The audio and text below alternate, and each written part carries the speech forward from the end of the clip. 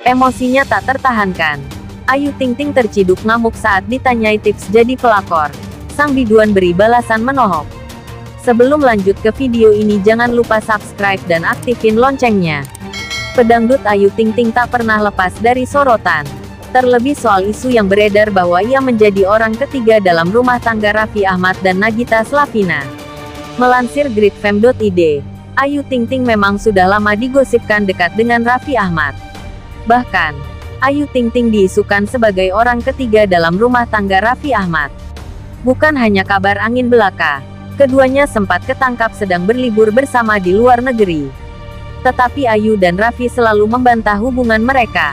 Ayu juga mengaku jika dirinya dan Nagita Slavina bahkan berhubungan dengan baik.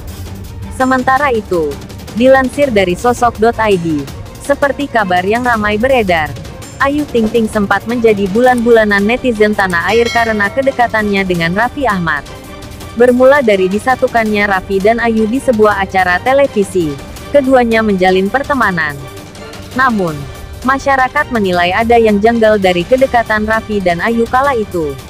Mengingat Raffi Ahmad saat itu baru saja menikah dengan Nagita Slavina. Mereka menduga bahwa hubungan Raffi dan Ayu lebih dari sekedar teman biasa.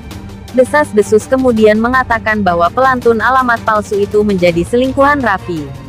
Ayu juga ramai disebut telah berusaha merebut Raffi dari Nagita. Dari dugaan yang tak pernah diketahui kebenarannya itu, masyarakat mulai menghujat Ayu Ting Ting. Dukungan untuk Nagita Slavina pun mulai mengalir deras. Sejak saat itu, Ayu Ting Ting memiliki banyak haters yang kerap menghujatnya hingga kini. Bahkan, Baru-baru ini seorang netizen sampai hati mengajukan pertanyaan menohok kepada janda anak satu itu.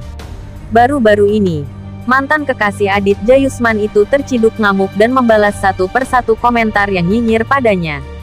Salah satunya adalah ketika seorang netizen meminta tips menjadi pelakor kepada Ayu Ting Ting.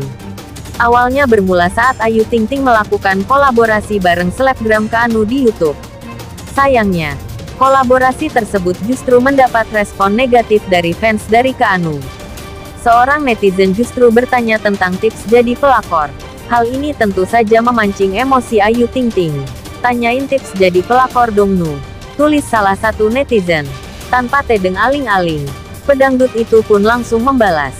Ya Allah ade lagi yang begini masih aja. Otak ame ati lo makanya bersihin masih aja mikir negatif ke orang. Ya Allah gue berdoa biar orang begini entar ade aja balesannya dari Allah amin. Balas Ayu Ting Ting. Gimana nih sahabat menurut kalian? Jangan lupa untuk tinggalkan komentar di kolom komentar. Like dan subscribe untuk channel ini. Terima kasih.